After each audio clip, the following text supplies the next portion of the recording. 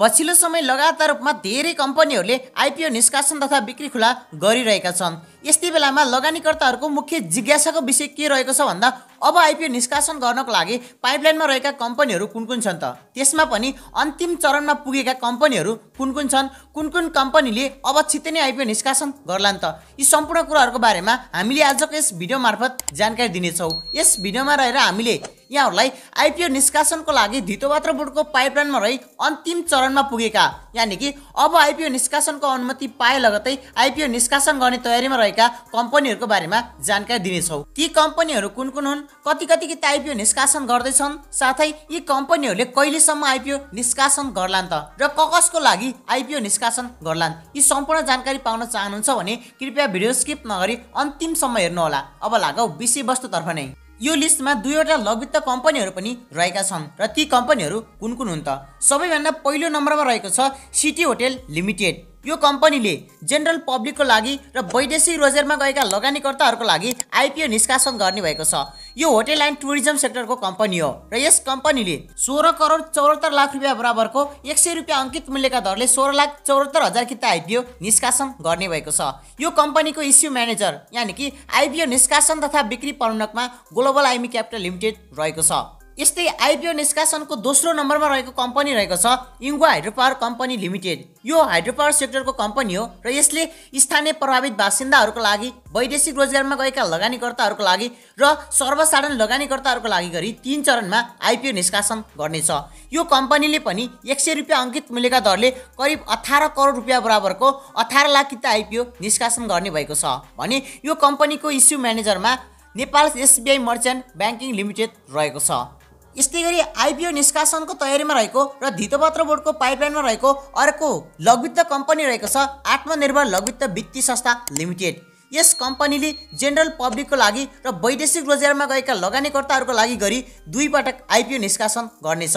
यो एउटा micro finance सेक्टरको यानि कि लघुवित्त सेक्टरको कम्पनी हो र यस कम्पनीले पनि एक सय रुपियाँ अङ्कित मूल्यका दरले करिब दुई लाख तिन हजार तिन सय असी किता आइपिओ निष्कासन गर्ने भएको छ।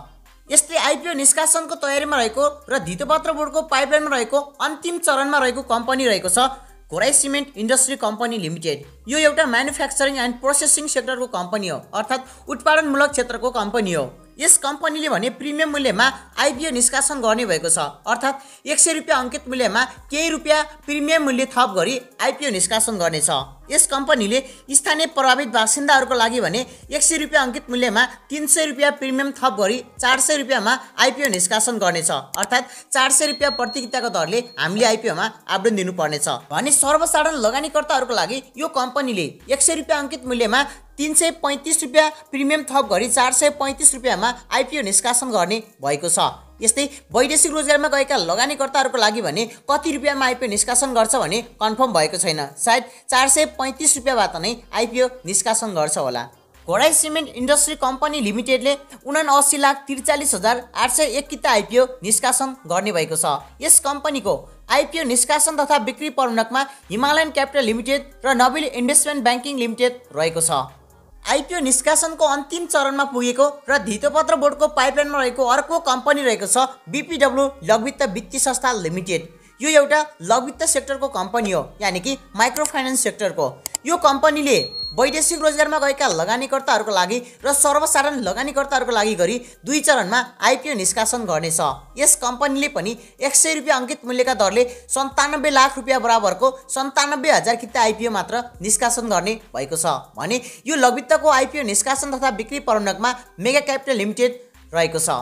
यस्तै आइपिओ निष्कासनको लागि नेपाल धितोपत्र बोर्डको पाइपलाइनमा रही अन्तिम चरणमा पुगेको अर्को कम्पनी रहेको छ सगरमाथा जलविद्युत कम्पनी लिमिटेड। यस कम्पनीले स्थानीय प्रभावित बासिन्दाहरूको लागि र वैदेशिक रोजगारमा गएका लगानीकर्ताहरूको लागि पहिलो चरणमा आइपिओ निष्कासन गरी सर्वसाधारण लगानीकर्ताहरूको लागि दोस्रो चरणमा आइपिओ निष्कासन गर्नेछ। यो पनि हाइड्रो पावर सेक्टरकै कम्पनी हो। र यस कम्पनीले पनि एक सय रुपियाँ अङ्कित मूल्यका दरले करिब चौन्न करोड अठासी लाख रुपियाँ बराबरको चौन्न लाख अठासी हजार किता आइपिओ निष्कासन गर्ने भएको छ। यस्तै यो कम्पनीको आइपिओ निष्कासन तथा बिक्री प्रबन्धकमा प्रभु क्यापिटल लिमिटेड रहेको छ। त्यसै गरी आइपिओ निष्कासनको पाइपलाइनमा रहेको र अन्तिम चरणमा पुगेको अर्को कम्पनी रहेको छ डोल्टी पावर कम्पनी लिमिटेड। यो पनि हाइड्रो पावर सेक्टरकै कम्पनी हो र यस कम्पनीले पनि स्थानीय प्रभावित बासिन्दाको लागि वैदेशिक रोजगारमा गएका लगानीकर्ताहरूको लागि र सर्वसाधारण लगानीकर्ताहरूको लागि आइपिओ निष्कासन गर्ने भएको छ। यस कम्पनीले पनि एक सय रुपियाँ अङ्कित मूल्यका दरले नै सोह्र लाख नौ हजार चार सय अन्ठाउन्न किता आइपिओ निष्कासन गर्ने भएको छ।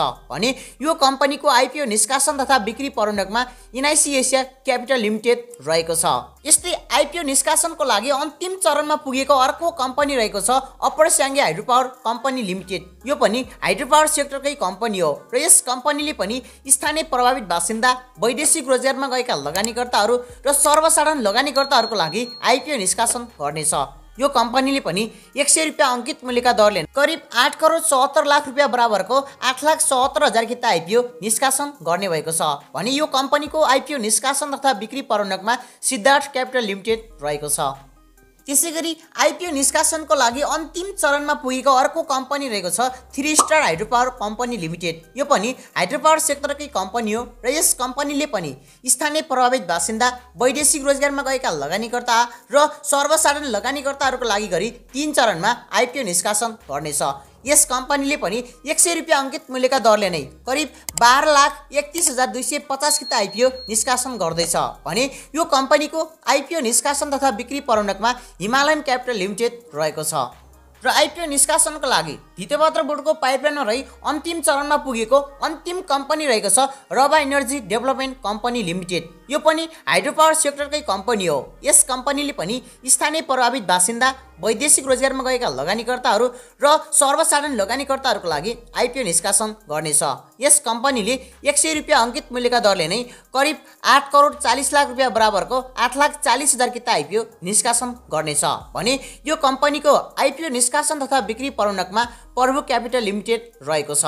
यो थियो अहिले आइपिओ निष्कासनको लागि तयारीमा रहेको र धितपत्र बोर्डको पाइपलाइनमा रही अन्तिम चरणमा पुगेका कम्पनीहरूको बारेमा सामान्य जानकारी। यसमा जम्मा जम्मी दसवटा कम्पनीहरू रहेका छन् भने जसमध्ये सबैभन्दा धेरै सगरमाथा जलविद्युत कम्पनी लिमिटेडले करिब चौन्न लाख अठासी हजार किता आइपिओ निष्कासन गर्ने भएको छ।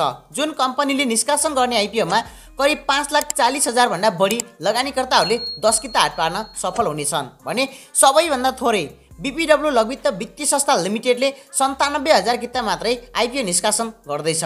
अब यी दसवटै कम्पनीहरूले छिटै नै आइपिओ निष्कासन गर्नेछन्। धितोपत्र बोर्डबाट आइपिओ निष्कासन गर्नको लागि अनुमति पाए पश्चात अब यी कम्पनीहरूले पनि आइपिओ निष्कासन गरिहाल्नेछन्। अहिलेको समयमा पाँचवटा कम्पनीहरूले आइपिओ निष्कासन गरिरहेका छन्। यस्तै क्रममा अब यी कम्पनीहरूले पनि तुरुन्तै आइपिओ निष्कासन गर्नेछन्। भिडियोको अन्तिमसम्म बस्नुभयो तपाईँ सम्पूर्णलाई धन्यवाद। भिडियो कस्तो लाग्यो? मन परेको खण्डमा एक लाइक गर्न कन्जुसाइ नगर्नुहोला मनमा केही जिज्ञासाहरू छन्? भिडियोमा केही कमी कमजोरहरू छन् भने कृपया जस्ताको तस्तै कमेन्ट बक्समा कमेन्ट गर्न नभुल्नुहोला। साथै च्यानलमा नयाँ हुनुहुन्छ च्यानललाई सब्सक्राइब गर्नुभएको छैन भने आइपिओ र एपिओ सम्बन्धी सेयर बजार सम्बन्धी लेटेस्ट अपडेट सबैभन्दा अगाडि एकै ठाउँबाट हेर्न र सुन्न चाहनुहुन्छ भने च्यानललाई सब्सक्राइब गरी साथमा रहेको बेल आइकनलाई अलमा सेलेक्ट गर्न नभुल्नुहोला।